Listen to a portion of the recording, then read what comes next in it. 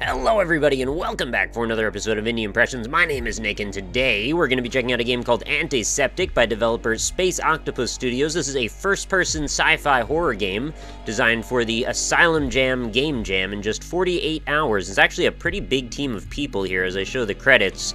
Uh, those are all the people responsible for this. This is going to be a basically completely blind episode. I've played like one minute into this, but I haven't actually seen anything spooky or had anything revealed about what's going on in this game. Uh, and sorry if you're any of the people out there that have been a little bit miffed that I keep doing horror games. It's just kind of the nature of how things go. Uh, when we get around October, people make a lot of horror games for all the game jams, and then they show up and kind of get filtered through the various avenues that eventually lead to me. So I'm also not terribly uh, averse to playing horror games. I just don't tend to find a lot that are fantastic. So I've been trying to broaden the scope of my search a little bit. So let's look at our controls. Forward W, left A, uh, so WASD. Pause is P, uses E, left control is crouch. Okay, so we might need to do some crouching. Good to know. Uh, without further ado, let's start up the game.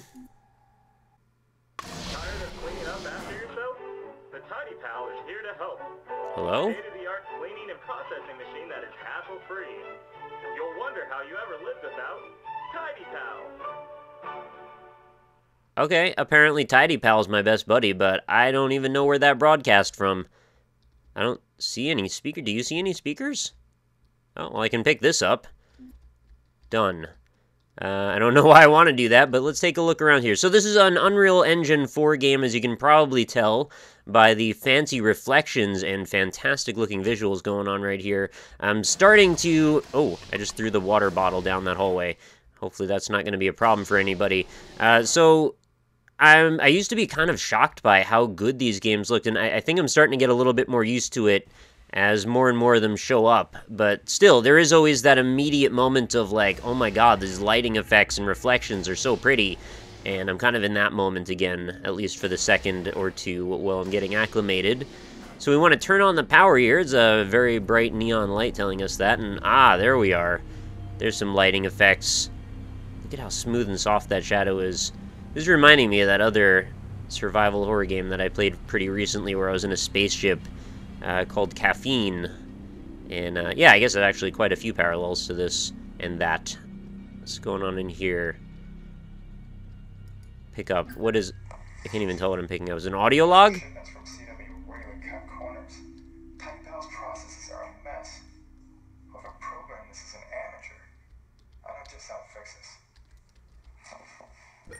Okay, that was, like, super quiet. That wasn't even just my audio levels. I, I could barely hear that, even with my headset on. Uh, I think what we're going for here, and pardon me if I'm spoiling anything, because I'm just guessing, I don't actually know, uh, but it sounds like the two pieces of the puzzle that I can put together so far is there's a cleaning thing. Oh, sorry, there's three. Uh, the game is called Antiseptic. The first thing that played was a little commercial jingly thing telling me about my cleaning buddy, and then I picked up a thing saying that whatever something was was programmed poorly.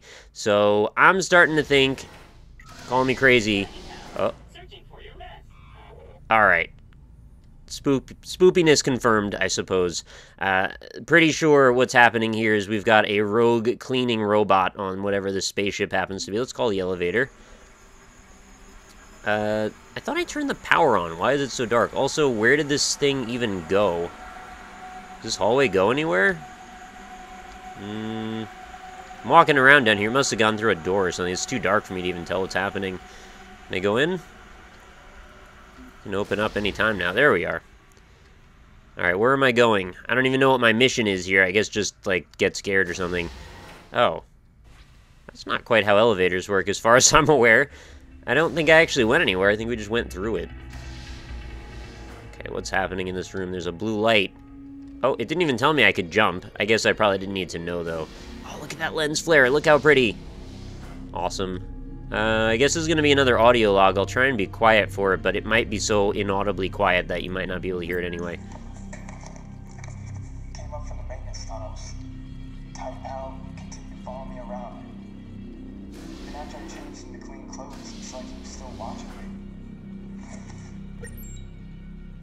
Alright, something about it came from the tunnels, and it's still watching me. And then I found a little vent... Oh, spookiness? What did I even just do there? I used the security console. Is it coming for me right now? Is it coming through here? a lot of slamming going on, but I'm not sure quite from where. Reasonably scary sound, I suppose. Being in a tight, confined space probably seems like about the last place I would want to be if I was hearing that sound happening around me. Oh. Alright, that was a whole lot of nothing. That reminds me of that situation in Myst when you're in that library like at the very beginning and you move the bookcase over and then uh, the door on the other side like starts making a horrifying sound for some reason uh, the place where there's like an elevator it just starts slamming for some reason i don't know why that that traumatized me i think as a little kid because uh, i played a lot of Myst when i was very very young oh god the lens bloom effect or the hdr lighting or whatever it is the contrast is so hard or so heavy that i can almost hardly see uh, let's get let's get some better retinas that can adjust to this light better. What do I want to do with this? Oh, I get it. That's probably Spooky Bot. Okay, that is actually pretty scary looking. Uh, so I think what we want to do is we want to grab the bottles and stuff and throw them around so it distracts it. So maybe this is just like a stealth game, actually. Oh, wow. Look at you. If you want to, like, grab that, that would be ideal. Guess we'll make another pass. Grab it. Nope. I keep clicking, and I mean to hit E every time I go by it. Yeah, come on, back around. No, didn't get it again. Ring around the rosy. One more time. Oh, I got it. I threw it. It doesn't care. I do love Tidy Pal, but it doesn't seem to care about me very much. Uh, it's followed me through the room. You can see the red light behind it. Disposing of foreign substance. I'm gonna get cleaned, guys. I don't even know if I can avoid it at this point. Oh, did I lose it? Maybe I got it stuck in that room or something. Oh, there's the red light. Okay, well that's, you know, that's actually a fairly good use of lighting to convey a sense of, you know, reasonably minor terror. Okay, this is a bad place to be right now. Straight freaking corridors are not your best friend when you're being chased by a bad guy. Can I hide behind this holodeck thing? Oh, this is actually a map. I didn't even look at it really when I saw it. I was like, oh, there's probably some kind of schematic for a ship part or something. No, it's totally a map. Okay, so I guess we did take the elevator. It just went so fast I didn't even notice. Uh, so we're definitely going to have to go back into this area right here, but there's uh, an angry red light at the end that wants to say otherwise. Is it? I hope it doesn't get stuck at the end of this hallway. Come after me, man. Are you gonna do it? If you get stuck in that door frame, I'm gonna be upset because that means I just can't do anything. All I can do is walk into you. I think it got stuck in the door frame. Well, we can get a good look at it then. Oh, there it is. It freed itself, I guess. It's just having some AI troubles, it looks like. What are you doing, man? This looks like something out of the Matrix. Oh, what is the, the wheedling of the... Why do they spin like that? What is the point of those? How much closer can I even get? So it's grabbing, it's holding, and then it's wheedling.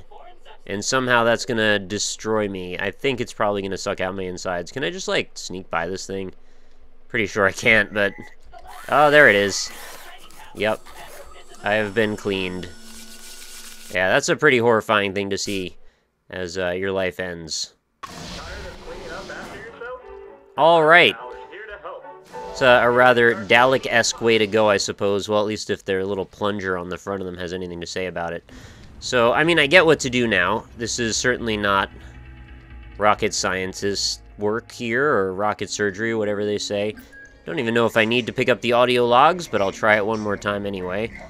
Uh, so we'll go for a little jog down this hallway. I should probably uh, try and not go back into that hallway again, because that seemed like a bad idea. Okay, it's not pissed at me yet. I guess I have to go to the security console before that'll happen. Uh, you'll see its red light turn on, I guess, when it's in hunt and destroy mode. You know, I have to say, as much as it's a little bit cheesy, pretty good presentation qualities. I mean, the game looks good. It performs fine, except for the fact that the enemy got stuck on that door frame and forced me to kill myself. Uh, other than that, though, pretty much fine.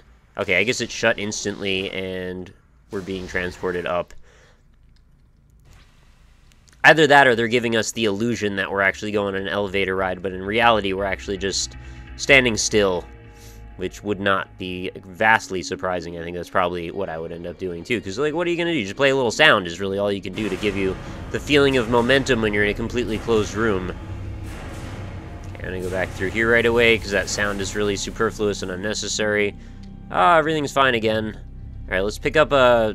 Oh, that's the audio log. I thought there was a bottle there for some reason. Oh, it's so dark, though. Is there anything over here? Forgot if I... Oh. I just opened the door to the security console from the other side. Okay. Then, you know what we must do. Can I hide in these lockers? Because that would be surprisingly wild if I could. This is actually making me wish Alien Isolation was coded in Unreal Engine 4. Actually, to be honest with you, I don't know what it was coded in, but it doesn't look quite as spiffy as this. So I'm just assuming it wasn't. Maybe it's got its own proprietary engine, or who knows what. Alright, so where's the red light start at? It's over on the other side. Kind of just patrolling around. Let's see if I can grab this bottle first thing. That way I don't have to... Oh, there... Okay, so it's a bit of a problem that the bottles don't always pick up all the time. Oh, really? Somehow it got me really fast that time. I thought I ran up that ramp before it could get near me, but evidently not. Well, uh, I'm probably not going to do trial and error mode on this for too much longer. I think actually that's about where I want to stop. But, you know, this is at least a good introduction, so if you want to go check out Antiseptic, not a bad game. Just, uh, you need to do a little bit of repetition occasionally when you get accidentally killed. I don't think there's a way to save, otherwise, like, quick saving there would be ideal. Like, right before you go in that room, clearly. Also, maybe a little too dark at times, but I do also grant that it's probably intentionally dark for the sake of the atmosphere, which, uh, again, is very good. The atmosphere is totally solid here. Uh, the environment is convincing. Even the enemy is actually... Fa- oh, well, I just said it was solid. Why do you have to do this to me, game? I was trying to make a point. There's actually seams across the entire floor that I didn't notice until just now. Guys, you gotta, you gotta choke these suckers right up against the snap points. Otherwise, you end up with stuff like this. Uh, that's really funny that I said that, and then immediately that happened right afterward. It's also a little intersecting uh, moment of those two polygons Z fighting there in the corner. Well, anyway, that's not a thing to really nitpick over. It's not that big of a deal. I also like this little triangle theme that seems to be re- uh, repeated through a lot of the environments. Oh, this is actually happening on all sides. I wonder if it's doesn't kill the frame rate, right? No, it looks like it's fine. Was wondering if there was like a Hall of Mirrors effect or something going on through there. Anyway, uh, that's going to be it for Antiseptic. Go give it a download if you'd like. It's totally free. Like I said, it was designed in just 48 hours for Asylum Jam. So, uh, you know, good work, I would say. I would definitely be interested in seeing what these developers can produce again in the future. Uh, this is something that I could also see being elaborated upon, turned into a much fuller, bigger game. Uh, provided the game actually has enough meat to it that could keep it interesting for a long enough time. Granted, we've only seen a few rooms here, uh, but the rooms that we did see looked pretty cool. Uh, we'll, you know, give this another try maybe on a stream or something. This could be something that I'd like to see some more of. Just repeating the beginning over and over again is not really the most fun thing ever. Oh, why can I see better now? There's like fog here now that wasn't here last time. That'd be weird if I could just walk down this hallway this time and this door was just open. It's like telling me uh, try it enough times and all of a sudden things change. Yeah, it's totally like bright now. I wonder if I broke like the shaders or something by looking outside of the geometry. It's like pulsating a green light. What a mysterious and strange thing. Maybe somebody that knows a bit more about Unreal Engine 4 can tell me what happened there. Or maybe it's going to get dark when I call the elevator. Nope, uh, still pulsing. Actually, everything has that bright green fog over it now. I don't know what that's about. Also, probably should have mentioned before the sound effects sound pretty good as well. What's what's that? What?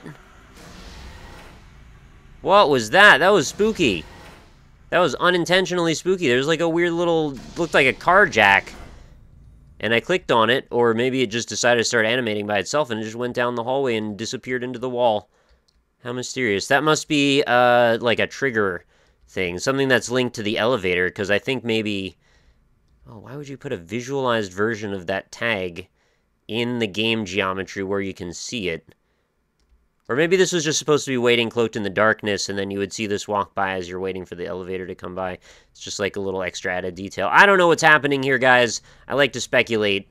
Uh, feel feel free to provide any information backing uh, stuff that you've got. I'd be interested in knowing more. Yeah, there's totally this green fog on everything now. All right, well, I guess I broke the game, so thanks everybody for watching. I'll see you tomorrow. New episodes of Indie Impressions go up every single day. If you enjoyed this one, make sure you leave a like on it, and be sure to uh, subscribe to the channel if you haven't already, too. New episodes again every single day, so I will see you back for another one tomorrow, and I hope you have a fantastic night.